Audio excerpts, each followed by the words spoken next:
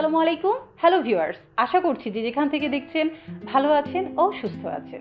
আমরা সবাই জানি স্বাস্থ্যই সকল সুখের মুখ, কিন্তু একটু অযত্নের কারণেই এই স্বাস্থ্য পড়ে যায় হুমকির মুখে, যা নানা ধরনের অসুখ ও অস্বস্তির কারণ হয়ে দাঁড়ায়। তো ভিউয়ার্স চলুন জেনে নেই ডব্লিউএইচও নির্দেশ অনুযায়ী স্বাস্থ্যকর জীবনযাপনের কিছু টিপস প্রথমেই স্বাস্থ্যকর খাবার খেতে হবে। ফল, শাকসবজি, লেবু, বাদাম ও শস্যদানা সহ সব ধরনের খাবার গ্রহণ করা উচিত।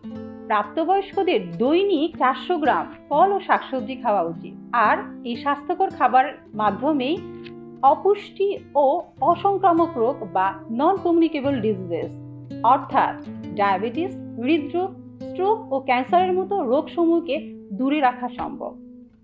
দ্বিতীয়ত, লবণ ও চিনি কম খাওয়া।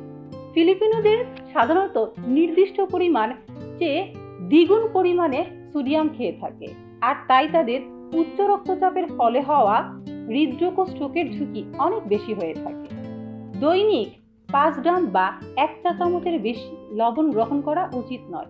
তা না হলে শরীরে বাসা বাঁধতে পারে নানা রকম জটিল রোগসমূহ।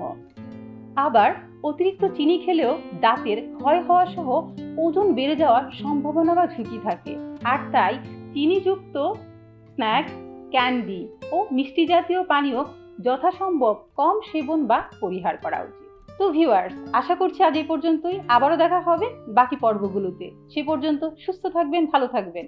ধন্যবাদ।